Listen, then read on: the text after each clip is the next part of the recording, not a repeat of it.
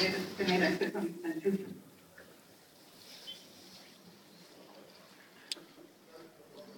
Eh, yo les voy a presentar ahora la política de acceso a la información del banco. Un poco eh, comentar y estoy contando cómo es la, implementación y los cambios de esta política, que en realidad viene de julio, del primero de julio de 2010